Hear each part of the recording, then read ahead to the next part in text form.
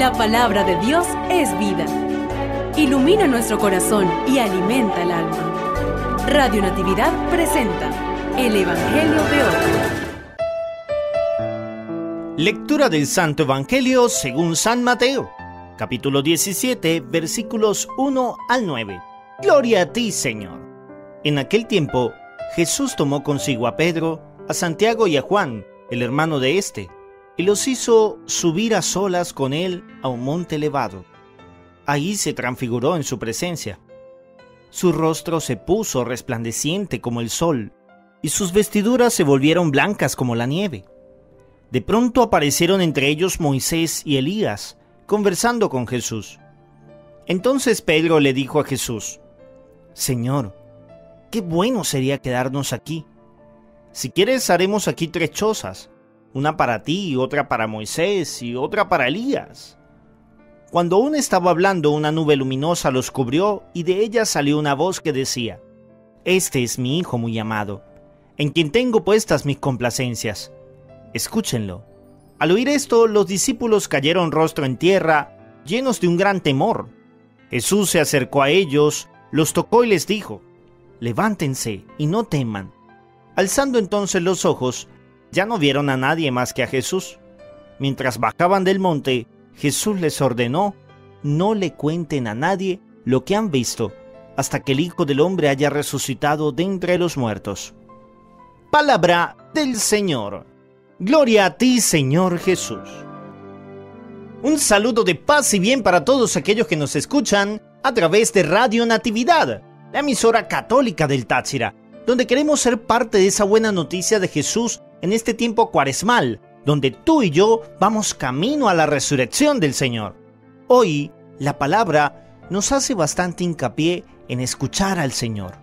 Vemos que Jesús toma a Pedro, Santiago y Juan y los lleva a un monte alto, a solas, y allí se transfigura. Les muestra la gloria de Dios. Y aparecen Moisés y Elías.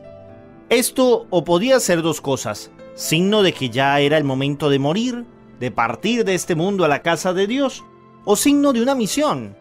Pedro creo que lo tomó por la primera. Ya nos llegó la hora. Por eso hace tal vez ese comentario de, Señor, ¿por qué mejor no nos quedamos aquí? Está todo bien, hacemos trechosas, una para ti, otra Moisés y otra para Elías, y nadie tiene que morirse ni irse para el otro mundo. Pero una nube luminosa los cubrió y de allí salió la voz del Padre que los centró. Hey, esto no se trata de vivir o morir.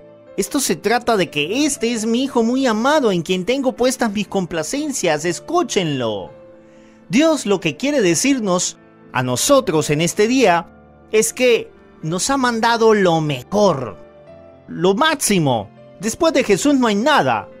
El Señor no nos manda un ángel, un arcángel, un serafín, un querubín, para nuestra salvación. No, nos manda lo mejor, su propio Hijo, su propia divinidad, para que ustedes y yo podamos salvarnos. ¿Y saben qué es lo más irónico? Que teniendo a lo mejor de lo mejor del universo, ustedes y yo seguimos colocando puesta nuestra fe y nuestra vida muchas veces en vanidades, en distracciones, en problemas, en angustias, en desesperaciones, en cosas que ni tienen sentido. Jesús una vez más nos dice, como a Pedro, a Santiago y a Juan, levántense y no teman. No teman que yo estoy aquí. Yo soy el Hijo de Dios. Si yo estoy contigo, ¿quién estará contra ti? Jesús nos da esa gran oportunidad. La pregunta es si tú la estás aprovechando o la estás desperdiciando. ¿Qué estás haciendo? Te invito en este día, como reto cuaresmal, a adorar al Señor en su palabra, leyéndola, leyéndosela a otro, visitando el Santísimo, adorándole y reconociéndole como el único que realmente es capaz de salvarnos. No olvides las etiquetas, los sacerdotes buenos somos más, y yo tengo un amigo sacerdote. Dios te bendiga. Gloria al Padre y al Hijo y al Espíritu Santo, como era en el principio, ahora y siempre, por los siglos de los siglos. Amén.